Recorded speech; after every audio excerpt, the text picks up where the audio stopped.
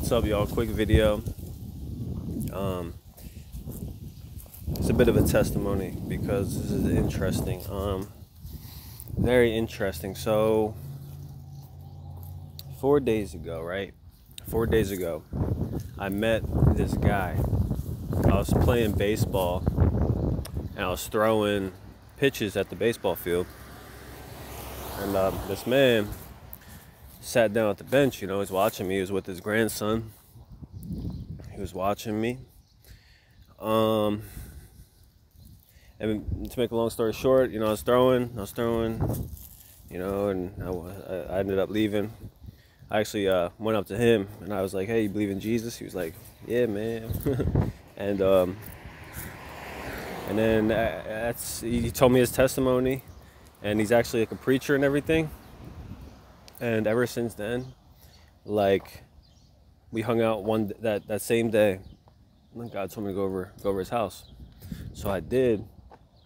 And what was crazy, right, is he gave me gave me some really um, he's like he's like older guy, but he's like really wise.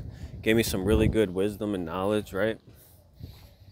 So he instructed me, which I believe was God, I believe was the Holy Spirit, was to meet my mom um, because I never actually took her out to like go out, you know, because I kind of a rocky relationship with my parents, right?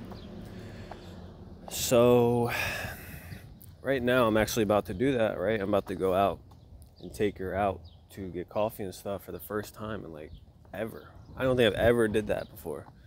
And so just just because I met this man and he told me to do this thing God used that, right? And, uh, and and she's not Christian or anything, but I could at least, you know, be there and be honor my father and mother, like you know, like the Bible says, which makes me uncomfortable. Makes me very uncomfortable. I'm so not used to it, and I can feel the devil attacking me because he doesn't want that to happen. He wants to destroy families. He doesn't want to build them up and make them strong in in the Lord, right? So this is uh a quick um, reminder to like if you still have your parents to honor them to forgive them to try to reach out and, and um, make something happen with them take them out you know if you can or go on a video chat or whatever the case may be.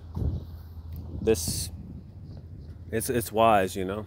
I think there's that bible verse that says uh, can't remember exactly what it says. Something about family and how, you know, if you have like a like if you I don't know, a good family of long years. I forget exactly the Bible verse. Don't quote me on that though, you know what I'm saying? But yeah, so that's it. Just keep keep going. That's pretty cool. That's cool, man. the Punisher. Just felt like this card sniping demons, boy. Jesus is King. Reminder to to uh, to you know take care of your parents and check up on them here and there. You know, as the Lord instructs you to. So yeah, that's it. God bless you. Peace.